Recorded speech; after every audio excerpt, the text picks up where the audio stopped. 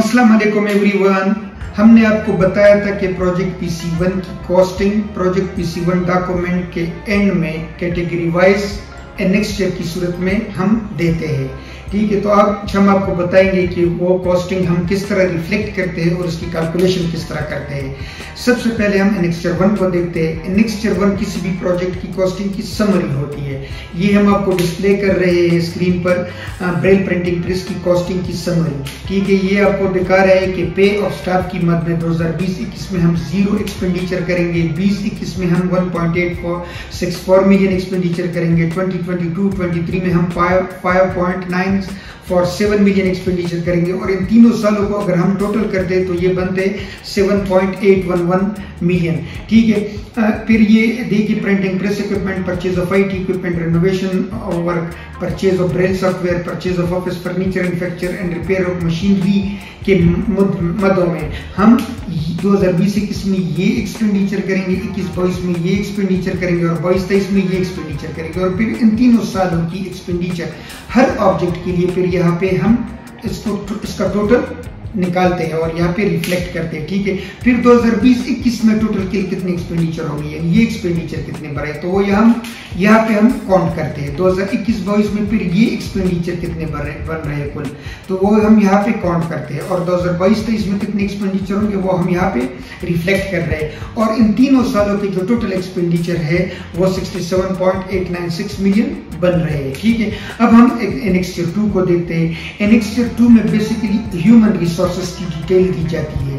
यानी इस प्रोजेक्ट को ऑपरेट करने के लिए हमें कौन कौन सा स्टाफ दरकार होगा कि इनका बीपीएस क्या होगा बेसिक पे स्केल ये कितनी तादाद में हमें दरकार होगा, इनको पर मंथ कितनी पेमेंट की जाएगी, और इसी तरह उनकी उनको हम पर ईयर कितनी पेमेंट करेंगे? पहले साल में इनको कितनी पेमेंट होगी? हर आ, हर आ, पोस्ट के अगेंस्ट कितने एक्सपेंडिचर होंगे? दूसरे साल हर पोस्ट के अगेंस्ट कितने एक्सपेंडिचर होंगे? और तीसरे साल हर पोस्ट के अगेंस्ट कितने एक्सपेंडिचर होंगे? और फिर इन तीनों सालों के एक्सपेंडिचर को हम यहाँ पे टोटल करते हैं ठीक है?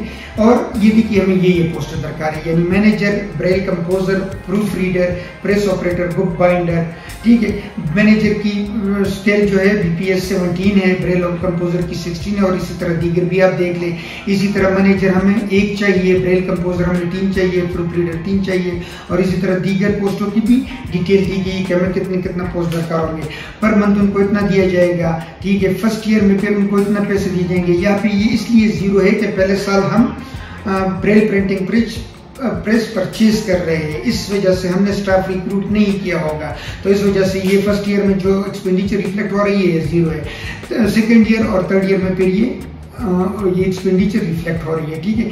फिर ये देखिए फ़र्स्ट ईयर की तमाम एक्सपेंडिचर को यहाँ पे जमा किया जाता है। सेकेंड ईयर की तमाम एक्सपेंडिचर को यहाँ पे जमा किया जाता है और थर्ड ईयर की तमाम एक्सपेंडिचर को यहाँ पे जमा किया जाता है। फिर जब ये तीनों सालों की तमाम एक्सपेंडिचर को हम आपस में एड करते हैं तो हमारे पास जो फिगर आ रही है, वो पचहत्तर लाख पैंतालीस हज़ार छह सौ रुपए है, ठीक है? अब हम इनिक्सचर थ्री को देखते हैं। इनिक्सचर थ्री में बेसिकली हम प्रिंटिंग प्रेस की इक्विपमेंट के बारे में बताते हैं। चूँकि हम एक प्रिंटिंग प्रेस स्टेब्लिश कर रहे हैं तो हम प्रिंटिंग प्रेस के लिए कौन कौन से इक्विपमेंट लेंगे? ठीक है?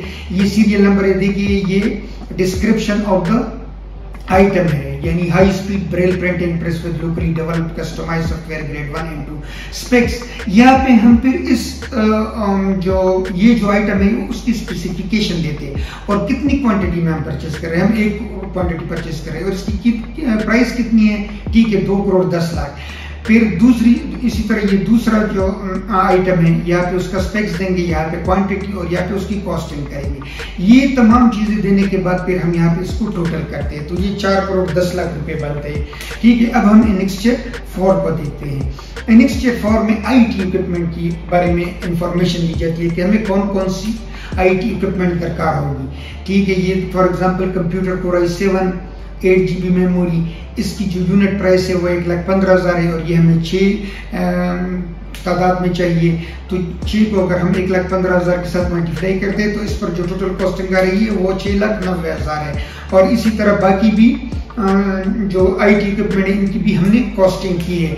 यहाँ पर फिर हमने इसको जमा किया है, ठीक है? ये तमाम क्वान्टिटीज को यहाँ पे जमा किया है और प्राइस को यहाँ पे जमा किया है। तो इसमें जो कुल खर्चा आ रहा है, वो अट्ठाईस लाख अठानवे हज़ार रुपए है।